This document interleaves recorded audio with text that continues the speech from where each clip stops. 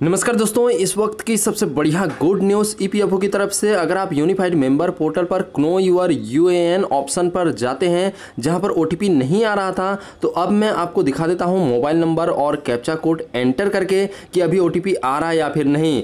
तो एंटर करके request OTP button पर क्लिक करते हैं तो ओटीपी सेंड सक्सेसफुली अब देखते हैं ओटीपी आ रहा है या नहीं तो देखिए यहाँ पर ओटीपी आ चुका है मोबाइल पर।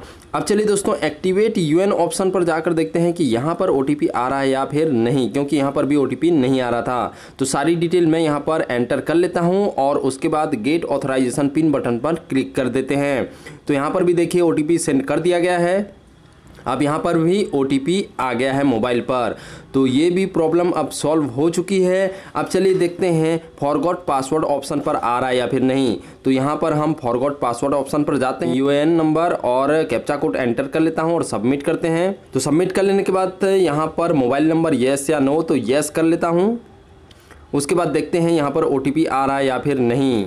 तो देखिए, यहाँ पर भी ओटीपी आ चुका है। तो दोस्तों, ये तीनों ही प्रॉब्लम जो है सॉल्व हो चुकी हैं। सभी जगह ओटीपी सही तरीके से आ रही हैं। इसके अलावा और कहाँ कहाँ OTP आ रहा है या फिर नहीं आ रहा है, आप हमें नीचे कमेंट करके ज़रूर बताइए।